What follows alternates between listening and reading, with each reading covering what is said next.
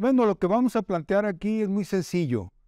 Si la corcholata, que sea la ganadora, da un viraje, zigzaguea o se corre al centro, lo que va a causar es definitivamente una explosión social. Esto es casi seguro, casi mecánico. Ha pasado eh, pues en múltiples países que ahorita vamos a enumerar. Claro, las corcholatas pues no son solamente tres, ¿verdad? Seguramente usted pensará que hay que hablar de cinco y de todas ellas, pues solamente Monreal ha dicho que pretende llevar a cabo esto que él llama reconciliación, que no es más que la restauración, fíjese bien, reconciliación es restauración del viejo régimen de antes del 2018, el régimen neoliberal. Eso es lo que busca Monreal y lo dice, digamos, abiertamente, ¿verdad? Pero si eso ocurriera, ahí tenemos el ejemplo de lo que pasó en Colombia. Y esto es reciente, hace apenas dos años,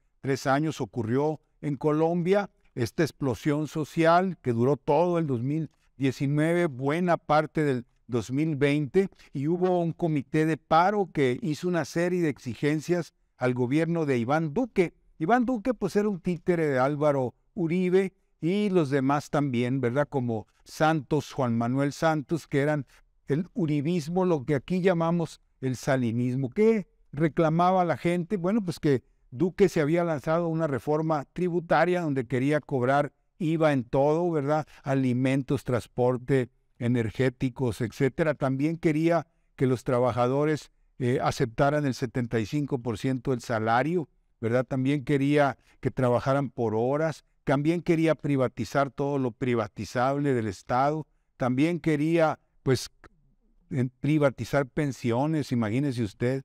Eh, y bueno, pues eso causó una explosión social, ¿verdad? Entonces, ese es el caso de Colombia, el mejor, pero también ocurrió en Chile, ¿verdad? Y eso también fue un caso sonado porque un día al presidente eh, pues se le ocurre que va a subir 30 pesos el metro. Uno dice, bueno, ¿y eso qué? Pues no es gran cosa, pero causó una explosión, descontento y vino a brotar todo lo que la gente había resentido por 30 años, porque ese era el lema de los manifestantes, ¿verdad? No son 30 pesos, son 30 años de lo que nos han hecho, ¿verdad? De los sacrificios económicos. Imagínense, privatizaron la primaria y la secundaria en Chile. Para poder ir usted a la primaria tenía que pagar. Imagíneselo nada más. Es lo que llamo el Chile de Pinochet, ¿verdad? Que se eh, lo imponen a cualquier país que se deja. Y bueno, pues también tenemos el caso contrario, donde no eran gobiernos neoliberales, sino gobiernos progresistas los que son sustituidos por gobiernos de derecha, que también se derrumban de manera inmediata. Este es el caso famoso de Mauricio Macri, que vino a suceder a Cristina Kirchner y a su esposo, ¿verdad? Que habían mantenido por casi 20 años una política económica. Eh, bueno, pues ya entra Macri y la revierte y rápidamente le explota el país y pierde la elección, ¿verdad? ¿Por qué? Bueno, porque llegó con los ajustes, los recortes al gasto público, lo típico, pensiones, salarios, en fin, disque para nivelar el déficit, disque para poder hacerle frente al problema de la deuda. Igual le pasó, igualito le pasó a Bolsonaro, que entró después de un periodo de gobiernos progresistas, Dilma y Lula, ¿verdad? Y apoyado por el ejército y apoyado por el Poder Judicial que les ayudaron a meter a, la cárcel a, Lula y a destituir a Dilma en un momento dado. Y con todo su apoyo perdió la elección de todas maneras ante Lula. ¿Por qué? ¿Por qué sucede esto? ¿Por qué podemos pensar que se va a repetir en México si alguna de las corcholatas decide dar este viraje? Muy sencillo, porque no se mandan solos los políticos. En este mundo, aquí en México tenemos una cultura de pensar que todo es corrupción y que los políticos se llevan la lana en una bolsa grandota o en un contenedor, ¿verdad? Pero no es eso. Ellos al entrar al poder se enfrentan a, a los, eh, digamos, dictadura financiera del Fondo Monetario Internacional, de los bancos, ¿verdad? Que les dan, hacen exigencias. Por dos razones, les dicen, mira, es que tu deuda está muy grande.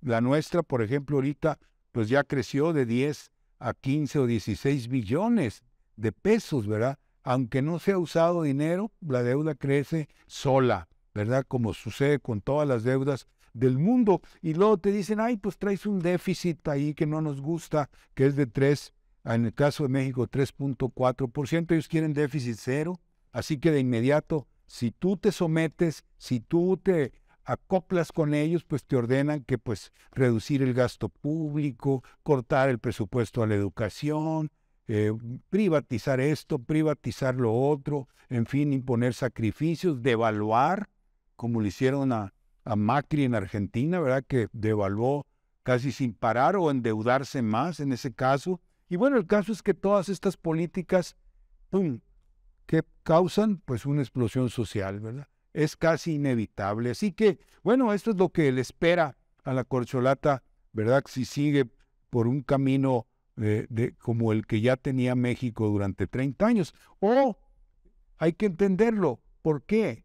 porque las naciones son sometidas al saqueo para mantener esta deuda enorme, para mantener esta burbuja especulativa, para mantener al Dow Jones, la, la bolsa de valores en Nueva York, creciendo y creciendo y creciendo, gracias a que saquean a las naciones, las desangran, ¿verdad? Que es lo que realmente sucede, y así mantienen esa burbuja inflada, ¿verdad? Por eso más bien lo que debe venir es una corcholata que le dé continuidad a la 4T, claro, en un nivel superior, por supuesto, y este tiene que ver con las alianzas con otras naciones que están padeciendo o ya padecieron lo mismo y que están buscando alternativas, nuevas instituciones financieras, incluso dejar el dominio del dólar. Ahí está el BRICS, que es muy conocido, todos lo sabemos, está también, por supuesto, lo que ahora llaman el sur global, todos estos países del sur, ¿verdad? Que son